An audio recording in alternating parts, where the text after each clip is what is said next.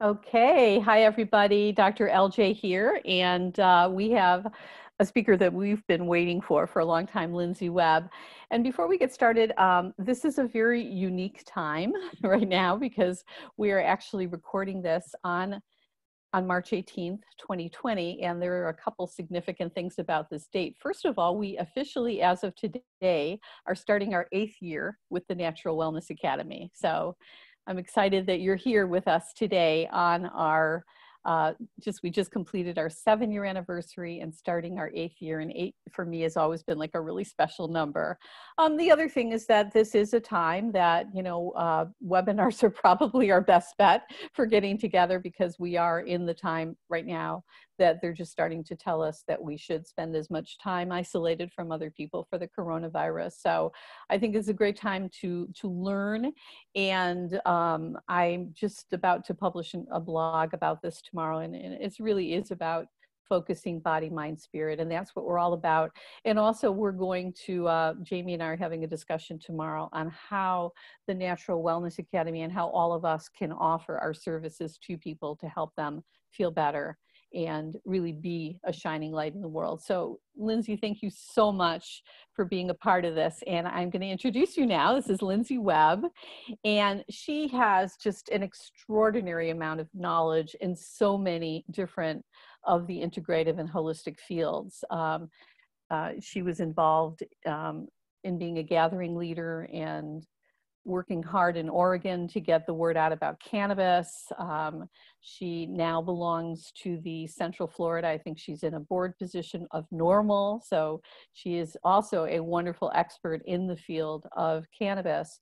And this is something that I really, uh, you know, we, we always, Lindsey, like to do a lot of compare and contrast and we will get mm-hmm. people you know when you are a cannabis coach you will get people probably asking you about some of the psychoactive uh, we've been hearing a lot about microdosing uh, especially the mushrooms we've been hearing a lot of people doing ayahuasca I even have information about that in the course and how different they are so you are what's called an entheogenic practitioner you, you're a practitioner of entheogenic medicine and you work with people for trauma release and also kind of getting more in tune with their spirituality and you work with a lot of women's issues. So i will let you take it from there. Okay well i just wanted to say um, hello to everyone and like i said lj i can only see you unless someone talks so i don't know um, how to change that view. So what i'm going to do is as people introduce themselves i will then kind of say hi if they want to so if there's someone here that wants to um, kind of tell what their experience level is, I don't want to take, you know, a, a bunch of our time um, doing a, a, lengthy introduction, but if you, you know, feel comfortable and you want to tell me like, hey, I've never heard of them or hey, I've taken them before or something like that, it gives me kind of an idea of, of what type of information I'm going to need to share additionally. I think unless somebody who's come in recently, for the most part, other than Lauren, um, I did have an experience once myself with the mushrooms. It was a very unpleasant experience. So it is not something that I really want to be. Uh, you know, I think I, I'm fascinated by the idea of microdosing because I didn't like the whole psychedelic. And I have, of course, you know, I'm a baby boomer, so I have tried LSD in the past, had one very good experience and a couple very bad experiences.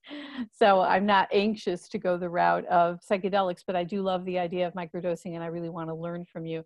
If anybody else, let me see, there's somebody in the chat box maybe that wants to say. Yes, yeah. Yeah, I think most of the people Yes. Yeah, because I'm seeing it as a different view, but I'm seeing you as the main one, and that means that it's probably recording that way. I'm hoping at least it's recording, but definitely we will have your presentation front and center when you start, sure. you know, that. So go ahead. I'm gonna, I'm actually gonna. Sure, let's go ahead and get started then here. So um, I'm going to uh, talk about myself throughout the presentation um, it just kind of works a little bit better for me. I want to tie certain information in uh, to what I'm saying. Can everyone hear me?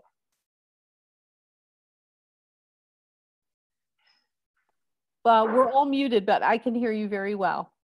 You can hear me. Okay, good. As long as you can hear me, that's great. Okay, going back to my um, share my screen then. Um, let's see. Okay. All right, here we are. Um, so welcome to Microdosing Psychedelics and Entheogens. My name is Lindsey Webb, and as LJ said, I'm an entheogenic medicine practitioner, and um, that's something that you'll learn the definition of as we go along. Um, I wanted to just start um, with some intention setting. Like Lauren mentioned earlier, one of the things that you will hear over and over again um, in the settings with these medicines is uh, about set and setting. So um, that just means getting your environment comfortable. Um, if you there's music you'd like to listen to, um, there's any kind of aromatherapy you'd like to use, make sure you have drink. You know, just kind of get yourself centered and ready. If you are someone who um, uses spiritual tools, that's a time to use them as well, but it doesn't. It's not required. So my intention for this webinar is that it will guide you through the typical intake and treatment process that I follow, as well as provide resources for you to coach others should you choose. And I intend for you to learn something of value and for at least one person to feel inspired to work with Entheogen. So if everyone will just take a moment and um, set an intention of your own, you can close your eyes, take a couple deep breaths, just kind of get yourself centered and ready.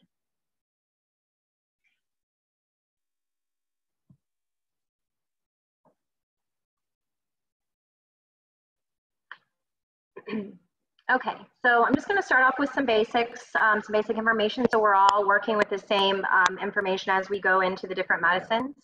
So um, what are psychedelics? Um, psychedelic is a term that was coined by a British doctor named Humphrey Osmond in 1957. It refers to a consciousness expanding psychoactive substance that produces sensory changes. It's derived from the Greek word psyche, meaning mind, and delos meaning manifesting. So in direct translation, it's manifesting of the mind. And I think that's, you know, somewhat of a pretty good description of um, the type of activity that it has on, on the mind and the body. Um, some psychedelics do produce hallucinations. Those are also referred to as hallucinogens. Major psychedelics include mescaline, which is typically from cacti, LSD, which is synthesized in a lab, psilocybin, which typically comes from mushrooms, and DMT, which um, can be humanly made, but also comes from plants as well. Many people are now using the term entheogen in place of the term psychedelic. Um, there are various reasons for that. Um, it's partially because of the association that you think of maybe recreational drug use and a lot of entheogenic practitioners are wanting to expand the use of these medicines because they're very, very effective for physical ailments and they're also very effective for psychological, emotional, or spiritual ailments, if you will. Um, so Albert Hofmann, uh, he's a Swiss chemist that was best known for synthesizing LSD. He first synthesized LSD in 1938 and it was by isolating a fungus called ergot that grows on rye. There are a couple of medications to this day that we use that are based on his um, other synthesizations that he did with that particular fungus. And one prevents uh, hemorrhaging, bleeding during hemorrhaging, and is used for women who um, sometimes have uh, bleeding after childbirth or during childbirth. So he definitely contributed a lot to um, modern medicine in, in many ways. In 1958, he synthesized psilocybin and psilocin, which are both um, in mushrooms, basically. So using samples of psilocybe mexicana, which is a certain type of mushroom that was sent to him by an amateur mycologist who was fascinated by his work. So essentially, one of his fans, if you will, in modern terms, sent him this sample, and he was able to synthesize the psilocybin and the psilocin. And this is actually um, was kind of the starting point for our modern use. In 1979, he published an autobiography called LSD, My Problem Child, detailing his accidental trip while working with his newly discovered substance. So as he was synthesizing LSD in the lab and he was handling it, he started to feel really funny. And um, he details the entire trip, if you will, in his book. And um, I've read some of it. And it's pretty, it's pretty funny and entertaining. So if you ever want to check that out, be a good read. Um, so he goes on this wild trip, and of course, he didn't have anyone to explain to him what to expect like we do. So I can imagine that was that was quite the interesting um, experience for him. Um, he is the one who was pretty adamant that psychedelic medicines could provide therapeutic relief for symptoms of schizophrenia and other psychological disorders. And he is absolutely correct about that. So, so I mentioned the term um, entheogen, and um, entheogen is a term that was coined in 1979 by a team of ethnobotanists and mythologists, including Gordon Wasson, Richard Schultes, Carl Ruck, and others. It is derived from the Greek words entheos, meaning full of the divine, and genesthai, meaning to come into being. Translated, entheogen means bringing forth the divine within. This new term was meant to expand the definition of psychedelic medicine to include shamanic and indigenous use, and to allow for a new image following the stigmas of recreational use of psychedelics in the 60s And 70s. And as I said, even though entheogen is a term that refers to, um, it alludes to some sort of a higher power, or some sort of a spiritual force, or, or however you want to see it, I just want to be very clear that these medicines are for everyone, you know, to access no matter what your uh, spiritual beliefs are, no matter what your religious beliefs are. That is not a barrier and should not be a barrier to approaching these medicines because um, the use of them uh, for spirituality is so powerful and has become so common, you will often read articles and things when you're researching that are going to almost make it seem like it always has to be done that way.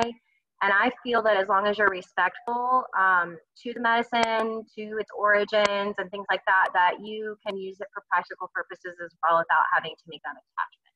So I just want everyone to feel, you know, that they can access this medicine. Um, what is microdosing?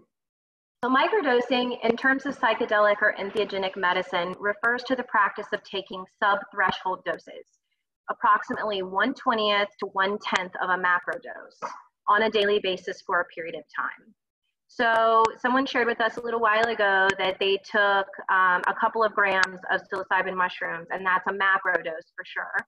Um, so a microdose of a psilocybin mushroom might be like a tenth of a gram, depending on the type that you have in the strength. So not necessarily very much at all if you're wanting to microdose. So it's very important when we do get legal access to these medicines that we are um, following trusted people to um, guide us because um, more is not always better in microdosing. You know, we're, we want to take just enough to get the job done and we want to expose ourselves to that medicine.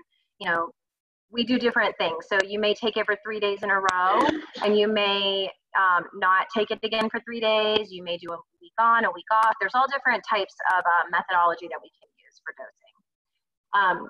Recipients typically do not experience noticeable side effects, yet are able to benefit from the therapeutic compounds within the substance and microdosing allows medicines to be accessed by more people for more reasons.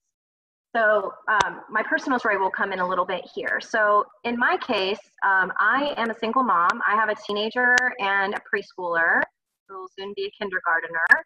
And I am truly a single parent. I have very, very little um, in-person help um, and I don't have family here. So uh, for me, I would not be able to access a lot of these medicines if I did not have the option of microdosing and if some of them weren't legal and available to me. So um, I know the way that they've changed my life. And so it's become my job now to uh, work with these medicines as I feel called to and to work with other people who know far more than me so that we can um, get access to these medicines to more people. So later on, we'll talk a little bit about how you can help us um, with some legalization efforts as well, if that's something you're interested in.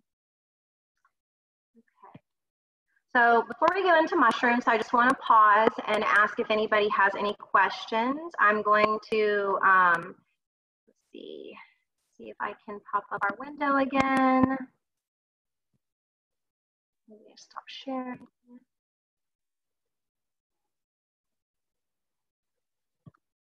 Okay. There. Are you able to hear and see me now?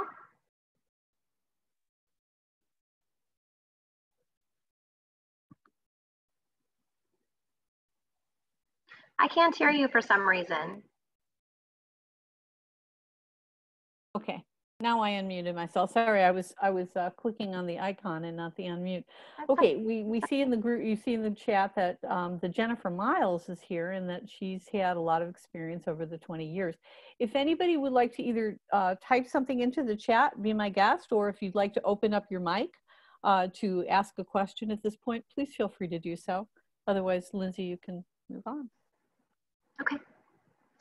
We'll give a second. All right, seems like everybody's okay. So we'll go back, start with our mushrooms here.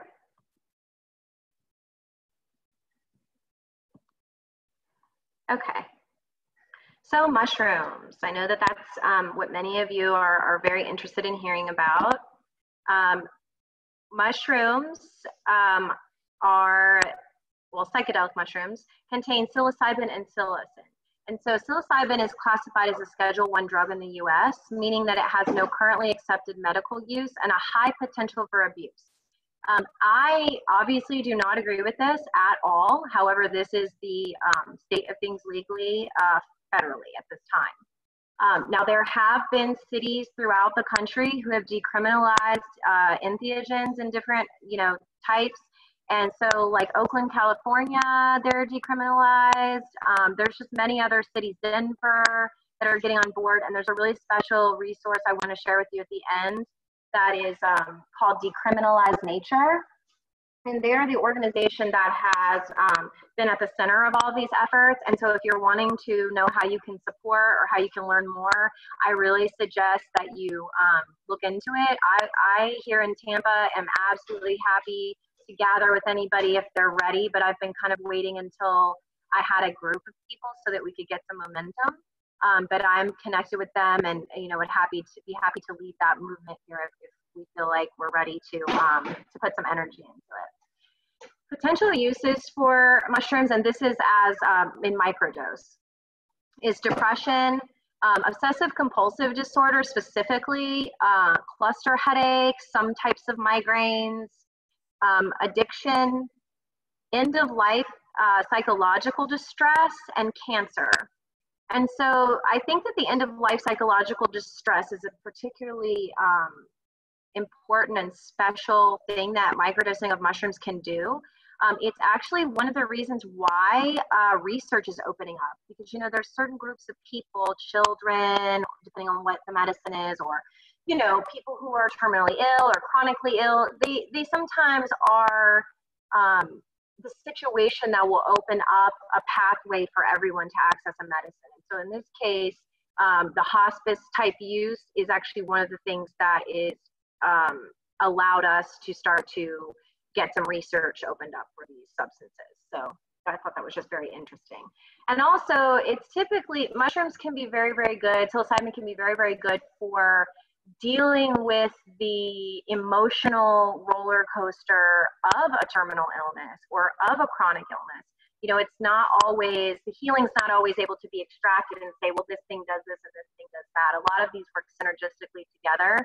Um, I'm a big uh, proponent of careful um, combination use of cannabis, whether it's CBD or THC, and some of these medicines. Um, but you definitely want to make sure that you are well informed before you experiment at home with certain things. So serotonin um, agonist is what psilocybin is basically. Um, I didn't go heavy into the science here, but I am going to give you some resources so that you can do as much nerding out as you want. Or if you're not really someone who wants to get that deep into research, you know, you can read some of the articles that surmise some of the research. And so that'll give you a way to control a lot of the information they're taking. And I don't want to overwhelm those that are new because it's a lot to take in in, in one hour. So um, basically the process that happens inside the brain is essentially the same as what an SSRI does. I hear somebody, do you have a question? No, so but I would like to point out uh, just that an SSRI is what they use for antidepressants. That's when Zoloft came on the market. That that's what it, it's. Um, what happens is that the serotonin is taken up by the neurons, and the person it's taken up so much that they're not, they're not able to feel serotonin. So what an SSRI does is that it inhibits that reuptake so that serotonin can flood the brain. Just wanted to clarify Yes. that. Yes, thank you. Thank you so much, LJ. LJ. No, you're absolutely correct. That's exactly what it is. So SSRI stands for selective serotonin reuptake inhibitor. And that's exactly what LJ just explained to us is what that actually is. So it actually inhibits the serotonin that's been released into the synapse from reabsorbing into the cell that it came from and allows it to have more time and more likelihood to absorb into the um, the cell on the other side. And so that's how you're getting that neurological connection in the brain for the serotonin to do the process that it's supposed to do. So essentially, this is a natural version of prescription um, SSRIs. And as LJ said, they're a class of antidepressants that are commonly prescribed in the US. So that's all that I actually have in the slides for psilocybin because um, uh, because of the legal implications of conversations of this nature, it's really something that is hard to share a lot of information about. Um, all I can really say is that if it's something that you're wanting to work with, um, despite the potential legal challenges or just other challenges it could present, I just really, really encourage you to um, talk to someone who has experience and has experience guiding other people if you have that option. Um, it's something that um, you could have someone sit with you and hold space for you while you do it. So you could do something yourself and you could just have someone there with you, and that would be okay. That's another way that sometimes um, other practitioners will guide people who are wanting to try this. I'm really hoping that we get some decriminalization uh, momentum because um, I'd really love to be able to open up my practice fully to this because it, it just has absolutely so much potential. And I'll just share something with you that um, the research will probably need to catch up on, but I know that this is true, and I think we'll see this as we see more research. Um, psilocybin has a lot of potential as an ADD and ADHD treatment.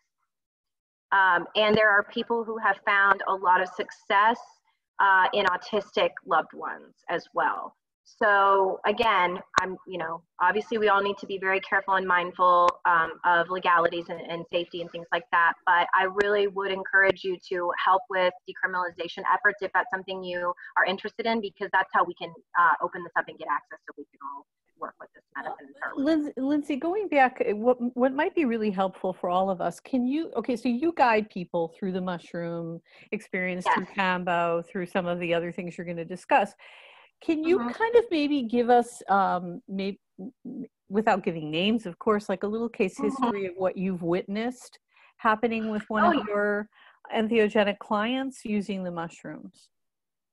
Yes, so um, I will just um, anonymously report um, some things that I have been privy to in some manner. So um, Okay, so one of, like I said, it is just like taking an SSRI in microdose form. So um, you literally often can feel the serotonin dump almost, and uh, that automatically starts to reset, you know, the chemical balance in the brain.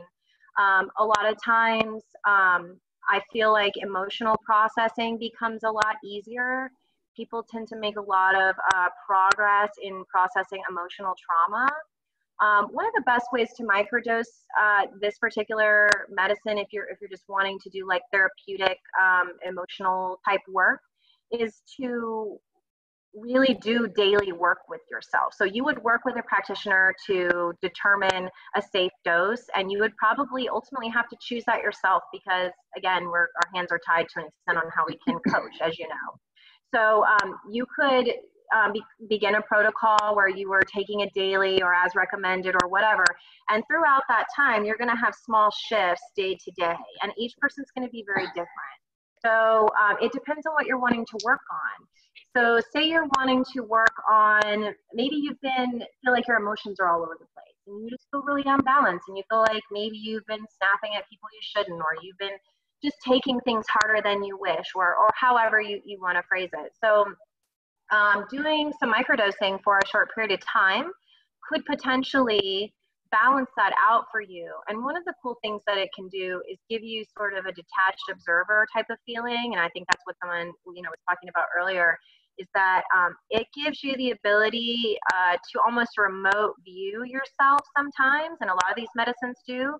And so, as you are encountering a situation where perhaps you would have maybe reacted a certain way in the past, you may find that, wow, I didn't react to that trigger or, or whatever that situation.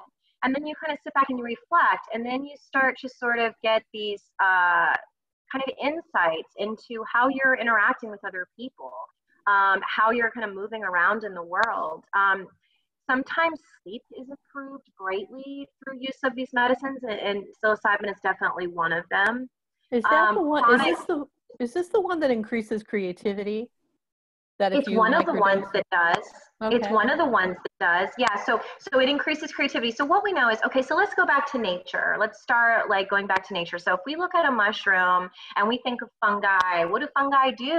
So fungi carry messages from trees and I mean, that's we don't know a whole lot yet, but from trees for sure, and I'm sure that they probably carry messages from other um, other living things. But they actually carry trees from messages to other trees. Fungi are like an underground neural network that just expands and grows and makes new branches and new connections. And so, if you think about that action in your brain, um, you are chemically and neurologically uh, building your plasticity you're building your ability to focus if that's what you're wanting. You're building your ability to be more creative in your creative work.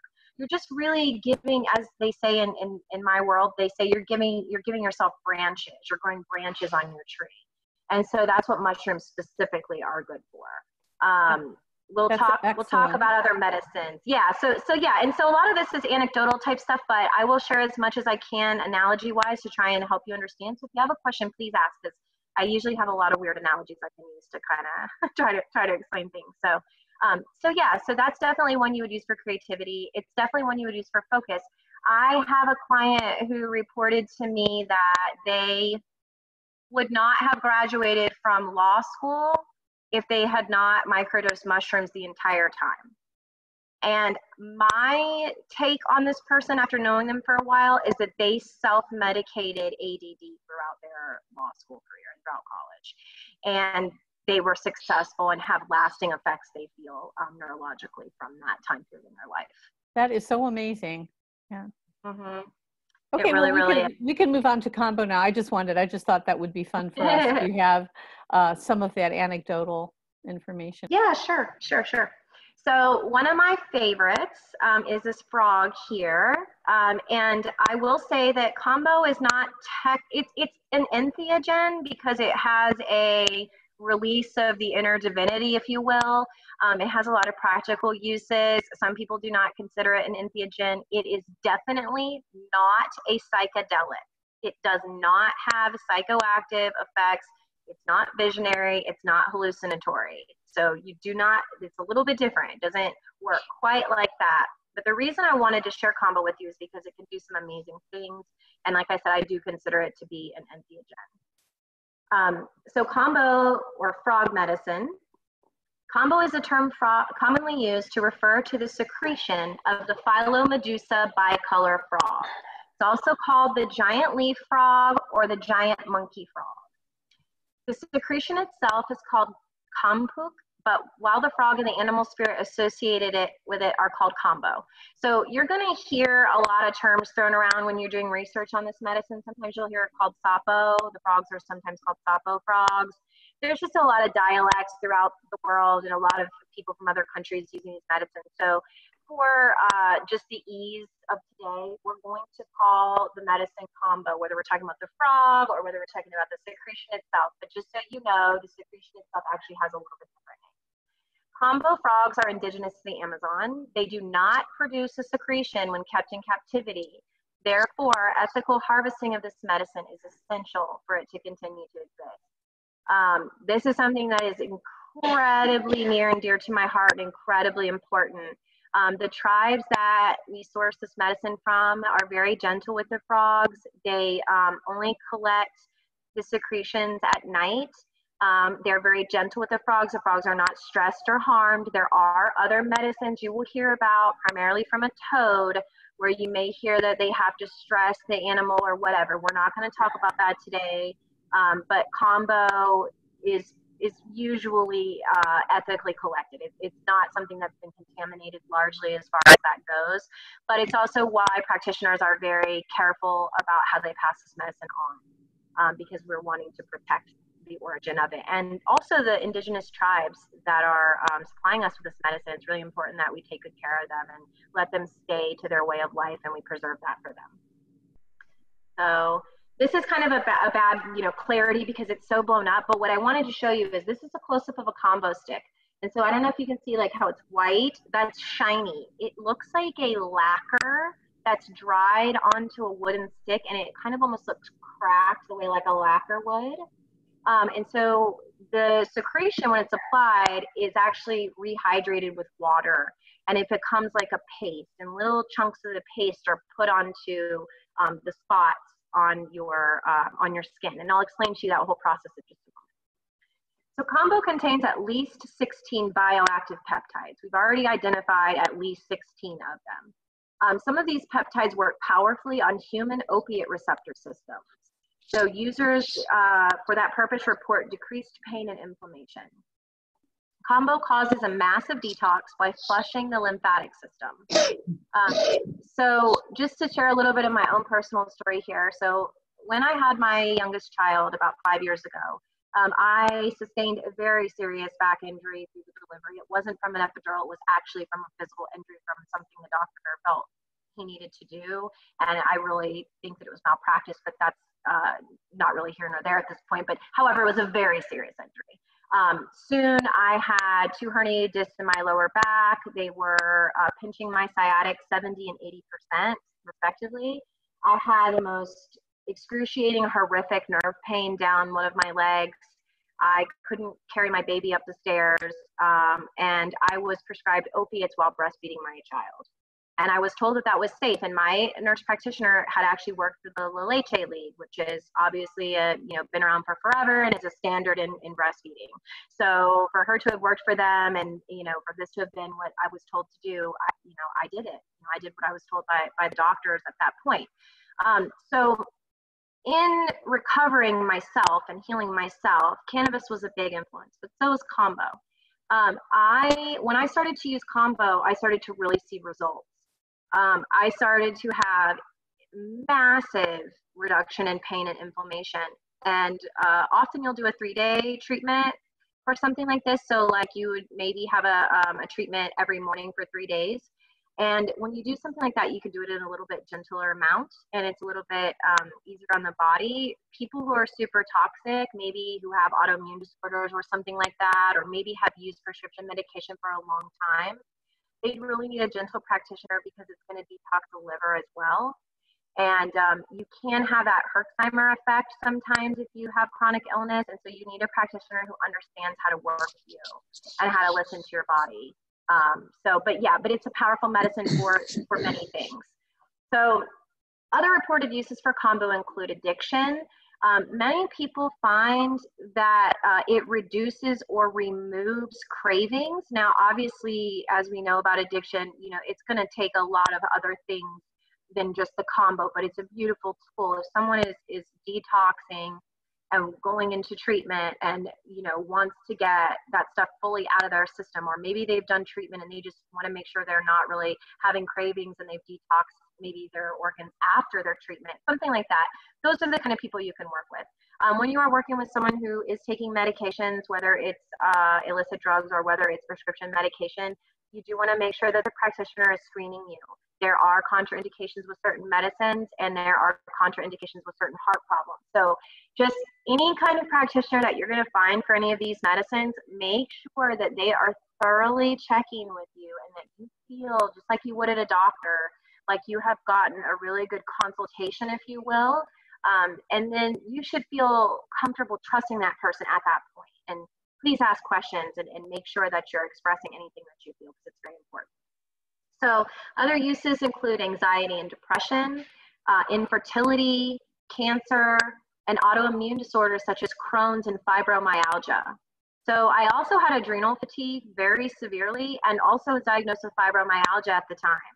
So uh, I have been able to be symptom free as long as I keep to diet, exercise, and I have Kambo treatments on a fairly regular basis, like once every few months or so.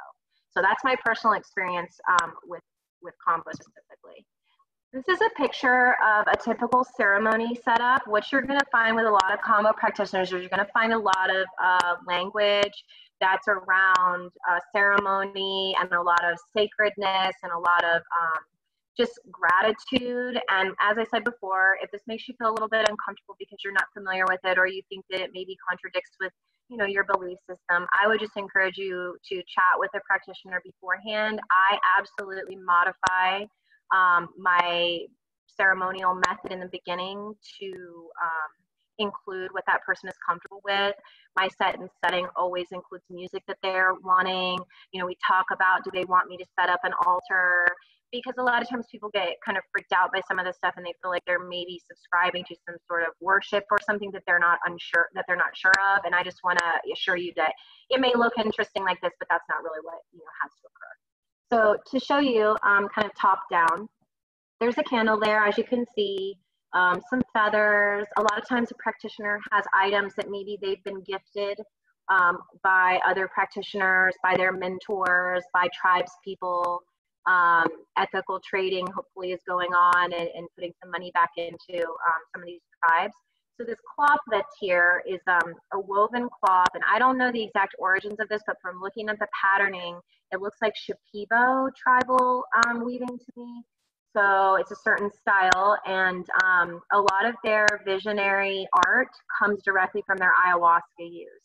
And so when you use uh, ayahuasca or some of these medicines, you'll see in your vision certain patterns, and they often will mimic these same patterns. And people who have never seen these patterns report the same thing.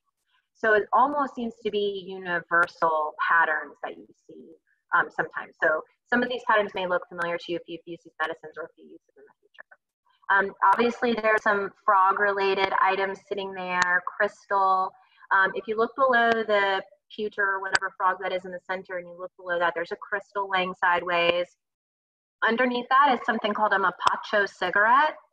So uh, mapacho is a certain type of tobacco that grows in the Amazon. It is uh, ceremonially used to help with the purge. Um, physically, it just makes you want to throw up, so it's good for that. But spiritually speaking, the tobacco spirits, um, that specific kind of tobacco is supposed to have a strong wish protective. So it'll be used in a shamanic sense to um, aid you in releasing negativity, is what they, their purpose for it is. Below that, you're going to see two Kambo sticks. They're both wrapped in uh, the leaves. They come wrapped like that, and you undo everything. And the tribe literally packages it up for you. So it feels really special and, and just rare when you get it. So you open that up, and, and the stick is inside. So uh, the item below that is called a tepi, and it is something that you use, an applicator that you use to blow shamanic snuff made from plants into a recipient's nose. Um, that is something that um, I don't have in here in this uh, presentation because I, I, didn't think we would have enough time, but it is something that I am able to um, safely and knowledgeably share with you if you're interested and you're local to me. Um, it's just another type of medicine. Actually, there's many, many kinds of made with different plants. Some contain tobacco, some do not.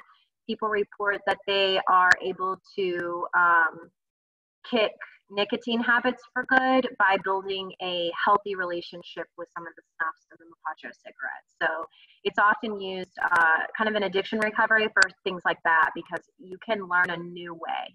And that's what I do as well. I sometimes will teach people like a new way to use kratom because I have some, you know, personal thoughts on the liver toxicity of it and long-term use and some things like that. So I do work with people who uh, use kratom. I teach them how to grow it. I teach them how to interact with the plant and also then to be easier on their body when they're using it to use it a little bit more purposefully and um, maybe less so you know there's lots of ways Lindsey it's possible it's possible that people don't know what kratom is i know that some people do so you might want to just mention it okay. since it's not one of the you would you consider kratom to be in the entheogenic uh, you know um, category I, you know, I'm not going to say it's not an entheogen, but I personally do not think it has that purpose in the plant medicine community, in the spiritual side of things. Um, so it's really does not serve like a purpose in this world that I am in. But that being said,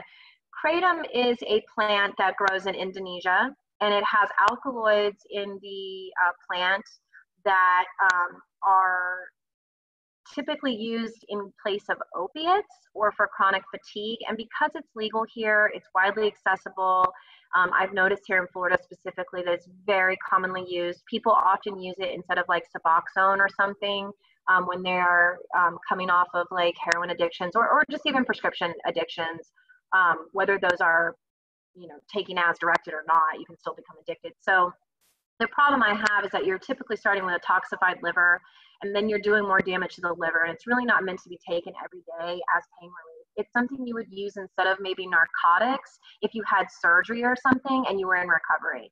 It, it does activate opiate receptors, but I feel that it um, stimulates opiate receptors. And I have a, a lot of reason to believe from experience with people that it is not safe for people who have had addictions at any point in time because it ends up being trading one addiction for another. It causes you to manufacture pain the way opiates can. A lot of the things that opiates can do to your mind that are bad, it can also do to your mind. That's interesting. Really I have never I, I had never known that about kratom. I'm so glad. Go ahead and then move on to the other ones if you want to. I just sure. wanted to ask you on that. Sure, sure. Yeah, no problem. So, okay, so that's that. So, um, as we were talking about, Kambo requires an experienced practitioner. It's not appropriate for self application until after you've been trained and approved by a mentor. So, even for me in my path, I received Kambo from many people over a period of time. Then I was given permission and training to begin to self serve myself. And I used that self service time to begin my uh, training. And then I also trained with other practitioners um, before I began giving it to other people. So it's something that has a, a very distinct uh, process that goes along with it. All right, let's get on to something a little bit more fun, which is ayahuasca. So here in this picture, what you're seeing is you're seeing shredded vine, you're seeing leaves, um, and they're going to be filled with water and boiled down into a tea-like ceremonial substance. So ayahuasca is a ceremonial tea made of at least two plants, one containing DMT such as chacruna, and the other is a vine called Banisteriopsis caapi. Ayahuasca is a term used to describe the vine alone and to describe the psychoactive visionary tea described above. So that's another thing when you're researching. You're going to read ayahuasca, ayahuasca all over creation. And what we're going to talk about primarily is microdosing the vine only. And so you may hear that called ayahuasca, or you may be reading articles and research about the DMT containing portion of it. So we um, we do not have access legally to ayahuasca, but we do legally have access to the caapi vine. So that's what we're going to talk about. Um, so we're going to call the vine and the medicine made from it caapi. Caapi grows naturally in the Amazon jungle, and it can also be grown here in South Central Florida. This is a plant that I, when I first moved here, connected with some fellow medicine people who had found a vine. It looked a lot like this. And this vine had been growing in a woman's yard in Clearwater for 12 years. Her husband had been a bit of a psychonaut, and she didn't really understand a lot of stuff he was into. And he got a cutting uh, from Terence McKenna, um, who you may want to look up. He's um, just he he's well known as an American who brought ayahuasca and, and um, to the states from the jungle, and, and, a lot of people follow him and, and are very into his teachings. So um, anyway, her husband had gotten a cutting of this, and it had taken over their entire quarter acre yard in mass in a mass canopy. It grows along other trees and things, and it had actually taken out the transformer and the city was going to find her and that's how these people found her and so i was able to go in and help extract just kilos of this mature 12 year old vine so it was it was quite the experience i've made medicine from it which i've taken myself um, and that's part of my journey into um, becoming someone who guides others in this medicine so Banisteriopsis caapi, the vine is legal in the US and many other countries, however, ayahuasca is not. Microdosing a liquid form of this medicine is the natural version of an MAOI. It's what's called a reversible MAOI. So that, um, LJ, maybe you can help me here. It's a monoxo something something inhibitor, correct? Well, actually, what happens is is that if you take ayahuasca on its own, you're not going to feel the effects of it because it's a similar thing. You know, you have that reuptake uh, receptor that is going to, well, it basically it, it acts as an agonist, so you're not going to feel any effects. And it is the the caapi, I guess is what it's called, that um, activates the the MAO. You know, the that's that's the um, I think that's the uh, uptake. Yeah, so the microdosing right. the caapi, right. So microdose, microdosing the caapi, the caapi itself is the MAO. Right. right. So it it is the one like you said you're not so what it does is it actually allows the it actually allows the dmt to not be destroyed in the digestive tract when you take ceremonial ayahuasca that's so exactly it also serves yeah. yeah it also serves that purpose but in microdosing form of vine only what you're going to find typically is the kinds of uh, good effects that you would have from a prescription antidepressant of the MAOI class.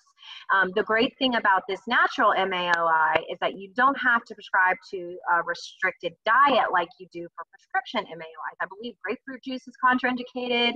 So, I mean, there's it's definitely safer, and because it's reversible and it's more natural, the body processes it better, and you just I feel like in the future we're going to start seeing um, once they start doing more clinical trials, we're going to see that it's a lot easier um, for people to handle, especially people who have trouble with antidepressants like me. I, I have terrible side effects when I took prescription antidepressants. I've almost lost jobs. I've almost ruined my life many times from the side effects. It's been it was a, it was a rough road for me.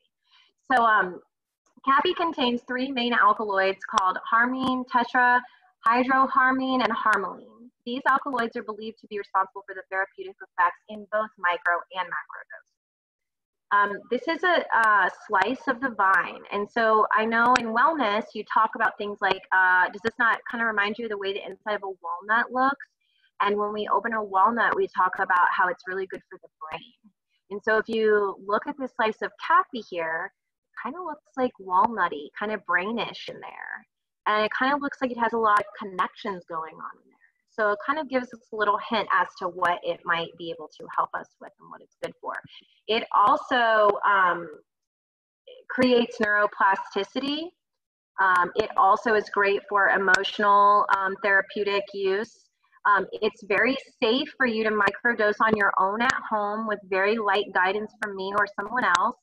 Um, I usually seek to empower people to be um, navigating this medicine on their own with thing that I share with them um, within a month's time. Obviously, each person's different, and we can I can continue to help if needed. But this is a super easy one to access, and it's legal, and it does a lot of similar things to psilocybin. So it's, it's why I wanted to focus on it a little bit tonight. Um, so reported therapeutic effects for microdosers of caapi only liquid are better quality sleep. That's a very common one. You will have very, very common report of better quality sleep. Um, improvement or cessation of depression symptoms. So people just like psilocybin who have had chronic depression, who have had um, hard to treat or impossible to treat, um, people who sometimes have suicidal ideations with prescription medications can be a better candidate for these. Again, good practitioner, definitely want to do lots of screening. Um, more balanced mood, less severe highs and lows, slowing and or the improvement of Parkinson's disease. So both psilocybin and the caapi both show promise in treating Alzheimer's and dementia as well. Um, combinations of these medicines have been used to cure cancer many times. That doesn't mean that it will cure everyone's cancer. Um, and I certainly am not qualified to do something like that, but I know people that are. Um, so if you know anybody who's interested, I, I have resources and people that are, are literally experts in each specific discipline. So I can get you some really good people to talk to if you want more information for someone who's not well. Um, I have had skin cancer heal from it, and so have many other people. I had probably what was technically precancerous growth on my uh, face, and uh, moved back to Florida and probably wasn't using enough sunscreen and everything. And um, I was able to heal that by taking the microdose liquid under my tongue. I never applied it topically, though people do for more severe situations. So there's a, a lot that can be done with this. Um, like I said, I think that the Parkinson's research specifically and the dementia research and things like that are, are going to be super important for our future. Um, one more thing I want to talk a little bit about is mescaline. So mescaline is the um, the psychedelic, you know, component of uh, mostly cacti, And so what you see here uh, is a beautiful picture here of um, some peyote um, buttons. And you can see it's got a lovely little flower there. And um, so peyote is a mescaline containing um, cacti. Um, it grows naturally in southern Texas and parts of Mexico.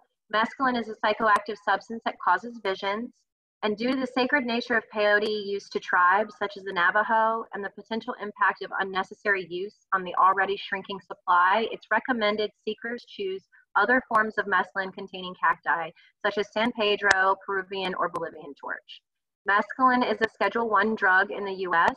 Certain religious uses are allowed. These are primarily associated with Native American tribal medicine.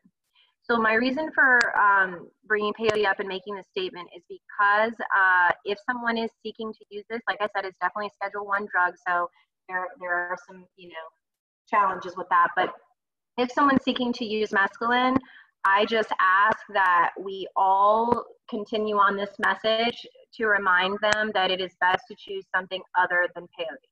It takes a very long time to grow. It can be grown in captivity, but um, indigenous access is not even remotely where it ought to be at this time. And so this is just something that we have to steward very carefully. And at the end in the resources, I will um, put a link to the Native American Church's um, statement, their direct statement on this. And this is a concern because we're uh, decriminalizing entheogens.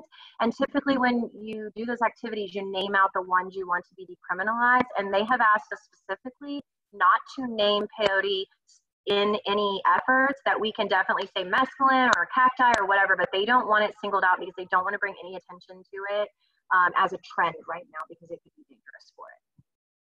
Um, okay, so I'm going to leave it on resources here for a minute um, and see if there's anybody who wants to maybe copy some things down. Obviously, this will be available later.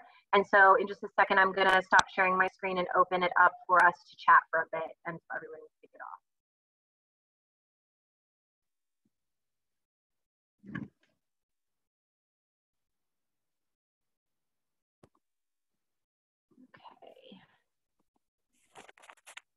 Let me go back here to where I was. There and you go. just need to turn your um, your video on again because we see your name, but we don't see your pretty face. Here you Hello, are. Hi, everyone. Okay, so I'm going to go down here and just kind of look a little bit because I wasn't able to view the group chat while I was sharing, and I want to make sure I'm catching up with everybody. Oh, good. All this good stuff. Yay. Okay. Um, okay. So I see people have experience. That's fantastic.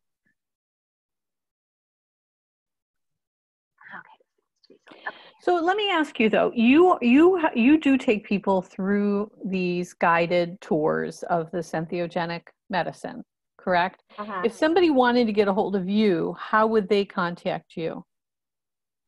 Um, I have the last slide has my information. Um, you can email me if you would like, and the email address is the is three words put together as one, all lowercase. So love magic medicine. I'll put it in the chat thing here. I'm, I'm typing it right now for you, hon. At, at oh, where? Love Magic Medicine at? At gmail.com. Okay, I've got that there. And they also, can also find you through fight can they uh, friend you on facebook too? And yes that's exactly what i was about to say thank you. So i um you're welcome to friend me on facebook. Just please send me a little message and let me know why and where just because sometimes i get weird ones and i don't want to ignore somebody that's coming from this space so i want to be sure to you. So um let's see here what else is going on in the messages? Let's see. Okay, so what I want to say um, about ayahuasca really quick though is there is a uh, place in Orlando. It's called Soul Quest Church. And they have applied for religious exemption for ayahuasca, but they technically do not have it. But because they're in a legal gray area, the DEA does not want to actually deny any of these right now because that means that then they're going to get into a fight and we might actually get what we want with, with legalization. So they're just like ignoring the applications. It's been going on for four or five years now. So they uh, do announce that they are legally allowed to serve ayahuasca. They have not had any problems with law enforcement. I've talked to the facilitators directly. I've questioned and grilled them, but I don't know that I necessarily can recommend that to someone. So my suggestion is to start with the caapi microdosing because you get to know the vine, you get the same benefits of the medicine without the psychoactive experience, and then if you come to a place where you're able to go out of the country or access an ayahuasca ceremony, you can then have that experience. You don't have to wait for that to meet this medicine and, and to have the effects of it. You do have to be prepared with ayahuasca that it's not always a good experience. You are going to probably get violently ill, like you would with peyote. I have, uh-huh. and I, I really don't have the curiosity to do that, but I've known many people who have done it. Caapi interests me though. I mean, where do you, where does one find that, or is it through you?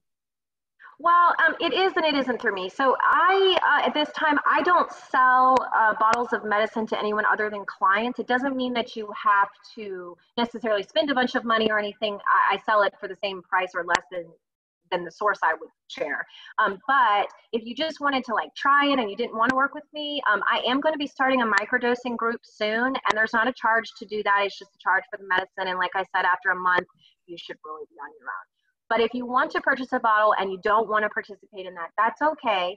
Um, I have a source I can share. It's a friend who lives in uh, Washington State, and all of her medicine is uh, sourced from Peru ethically um, from a retreat center. And I actually know people that live there as well. So I actually have a personal, you know, take on this entire source.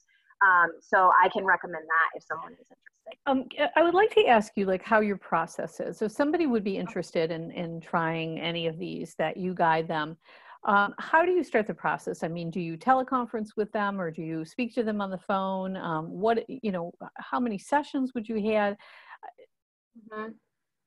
Um, so what's always so funny for me in these spaces, so, and thank you in advance for everyone for bearing with me, is uh, the nature of my work is, is very intuitive. Uh, the way I learn and I evaluate and I assess is obvi- a lot of times it's very intangible and it's very internal and it's something I've just cultivated over time. And it's very much dialed into a person. So, like I said before, my goals are to make these medicines accessible to appropriate people who are interested. So, I work around someone's lifestyle. When I serve Kambo, I go to people's homes a lot of the time so that they're in the comfort of their own home. Um, this is like having personal service. So whether we're through a video chat or a phone call or whatever method you want to use, I um, have also treated myself for complex PTSD very successfully using these medicines. And so sometimes I work with people who are just not, they're not doing a lot of interaction when we start. You know, I just really try to meet you where you are. Mm-hmm. So. Okay, great. That's wonderful. Now, if anybody has any questions, we're, we're a little over our time, but I do want to leave it open for questions because you probably do have them. Uh, what I'll do is we'll leave it up for a couple moments um, if anybody wants to ask a question that will be recorded.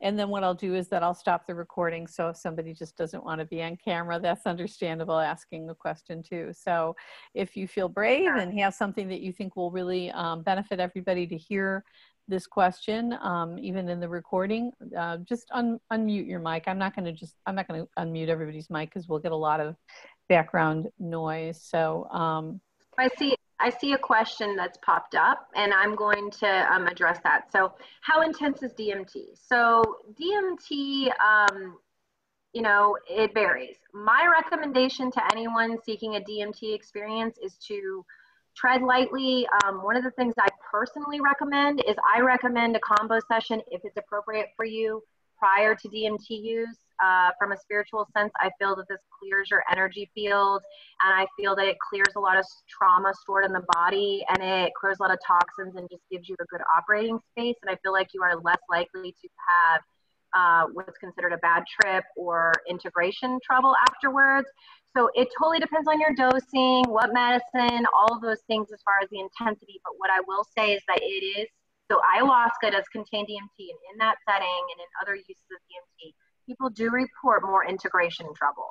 So my recommendation is always to have a very experienced facilitator who does a very in-depth, you know, conversation and clearing with you beforehand. So, and you should be fine yeah, I just don't think anybody should do this on their own without, you know, a no, tour no, guide no, to do that. Wanna, yeah.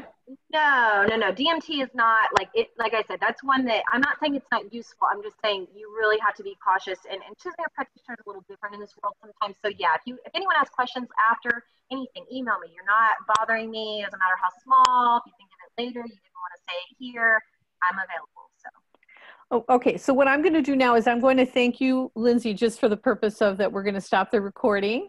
And this is the Natural Wellness Academy, and you can find us. Our email will be below this video. It's naturalwellnessacademy.org to find out about any of our mind, body, spirit certifications. And Lindsey, thank you so much. We have information for people to be able to find you. And I'm just going to stop this recording right now.